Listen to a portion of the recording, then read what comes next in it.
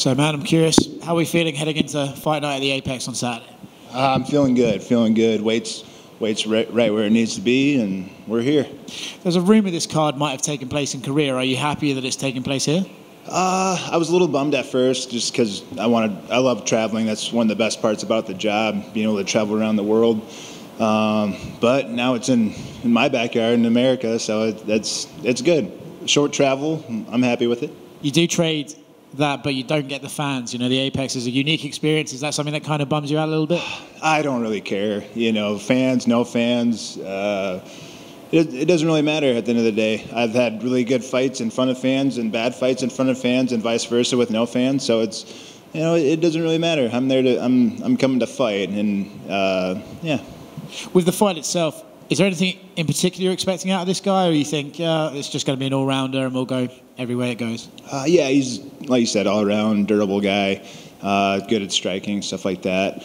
But I, I, I picture him coming at me pretty hard, and I'm going to come at him pretty hard and drag him around the ring. You know what I mean? Nice. So you're expecting potential finish if he slips up, and you can you can meet in the middle, and you can just sort of outlast him in that exchange, or, or what do we? Think? Oh yeah, hundred percent. I'm looking for a finish. I haven't had a ground and pound ground and pound finish in the UFC in a while, and he's a good guy for that. You know, he he's a good candidate. Nice.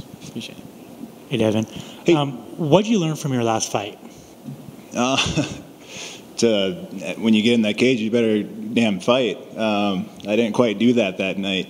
Uh, I had a few things going into that fight right before I hurt my pinky toe and um, broke my hand in the fight. I got punched in the neck, and then that all comes down to me just being a sissy when it when it comes down to it. Uh, I, I, wasn't able to mentally overcome that, and I should have been able to. I've done it before. Uh, you know, but now I'm back on that mindset. No excuses. I'm going to finish this finish this fight and do whatever it takes to to win this fight and to finish it. Awesome. Well, thanks for sharing that. Uh, and finally, uh, there's a brown bear on this card, then there's a polar bear on this card. So the question is, who's the polar bear again? Sergey Spivak. Oh, okay. So the question is, what's the better bear? Well, in, in I'm to go with the brown bear, but in real life, the, the polar bear is a, a mean ass bear.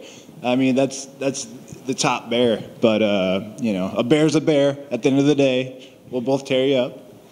Uh, are you a fan of the panda bear? What about the panda bear? are you are you referring to me as the panda bear now? No, I'm just oh, saying. God. Are you a fan of the panda bear? Yeah, they're cute. They're cute. I'm sure they can be even a little bit aggressive too. I don't know. I've watched some videos online, and they're you know they're cute. They're falling over, and yeah, like little puppies. Thanks, man. Thank you. What about Cocaine Bear? Cocaine Bear. Have Who's... you? Se- it's a movie. Have you? Oh. no. Sorry, I heard cocaine in my. anything. I don't know about no cocaines. Um, I haven't seen the movie. Is it good? I don't know. I haven't seen it either. I, I saw the trailer and it's like, oh, it's just one of those movies. It's that, it's based on a true story. Is it? Is it really? I mean, like one percent of it. Yeah. Some in, in America. yeah. Cocaine cool. fell out of a plane and a bear. Anyways. What a scary yeah. situation. But my actual question. Um, you'll be fighting much later than you're probably used to. Have you been adjusting to that, or have you done anything to prepare for that? A little bit. I'm a night owl anyway, so it, it's kind of whatever. But just sleeping in a little bit more, taking some naps during the day. Uh, but it, it doesn't matter what time it's at. If it's at three, four in the morning, whatever. When it's time to fight, it's it's got to be time to fight. And uh, like I said, um, I'm I'm I'm ready. I'm prepared, and uh, it doesn't doesn't matter. There's time, location, whatever. Let's go. Thank you. All good. I got one. Oh. I got one more. Is your dad going to be in the building this weekend? Yeah, yeah. He's uh, yeah. He's, so my dad's not in the corner this time, uh, but he will be in attendance in the apex, so it'll it'll sound the same. That's what I was um, looking forward to. How loud is he going to be this weekend? Oh, I'm I'm sure he'll be louder because he doesn't have you know he doesn't have to deal with the commission and them telling him to quiet down or sit down, whatever. He can do his thing. And he'll have a few drinks in him, I'm sure. Uh, so it, it, hopefully it's just a fun time for him and fun time for me. Uh, him watching his son go out there and, and win this fight and produce. Uh, yeah, it's I think it's a beautiful setup. Love it, brother. Is, is that just, your shirt says something about a dad on it? Happy dad. Oh, I like it. All right, bro. One follow up. Um, is it coming up on a year or two years that you've been at Team Elevation? Uh, a year. A year. This is my uh, third fight camp with Team Elevation, and Cody and Cody Donovan, Vinny Lopez. Uh, they're great coaches, man. Great coaches, and I feel like we fit together really well. They've pushed me in all the areas I need to be pushed, and and you know we kind of have like a uh, a verbal contract with each other. and I have to meet the, this criteria that they set for me, and, and that's what we've been doing, and we've based it all off of that. I know that it, it takes a little bit of time to like kind of mesh and like feel part of the family, but do you feel like you're part of the family? Yeah, I mean, Vinny's yelled at me, so that's that, that's a good sign, right?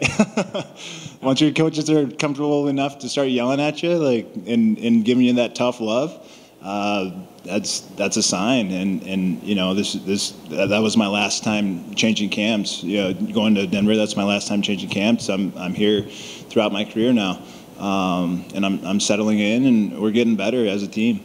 Yeah, and you know, with that team, I don't think it's kind of talked about enough that that room that you train in has a bunch of killers. And oh, yeah. uh, so, how's it just like being in there with Curtis and Zach and, and uh, uh, Ben Tynan? Like, just like you guys are just nothing but monsters in there. It's good. It's it keeps you honest. That's for sure. You're feeling good, and then you, you you might be feeling good going into practice, and you come out of practice get your ass kicked because they don't care. You know, Zach Zach's one of my uh, main training partners, and he he's kind of an ass. you know, and I love it. And it's making me better, and it's making him better, and, and hopefully that's rubbing off on me a little bit because I've always heard I'm, I'm too nice. And people bring that up when talking about getting into the cage and stuff like that.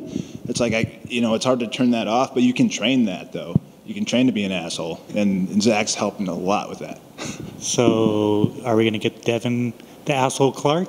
Oh, of course, yeah. I mean, I'm a little bit fired up right now. I'm ready to go. Like I said, I'm prepared, and, and when you're prepared like I have, it's easy to let that come out. I'm not second guessing stuff. I'm not, you know, amping up in my head. I'm not lying to myself. Like I'm ready to go. We've had a great camp, and I'm ready.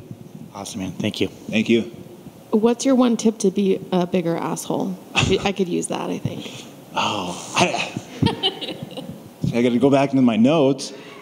uh, no, just like not caring um, about the other person that, that, that you're going with. Um, and obviously, we're training, so uh, with Zach, we're, we're training, so we're not trying to absolutely knock each other out or hurt each other, but there's times in there where it hurts. And I used to when I hit my sparring partners too hard or something like that, I used to say like, "Oh, I'm sorry, sorry."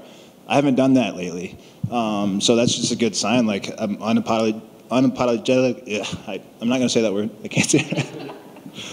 uh, yeah, I'm not gonna apologize for you know training hard and, and trying to get better. Yep. Awesome. Thank you guys.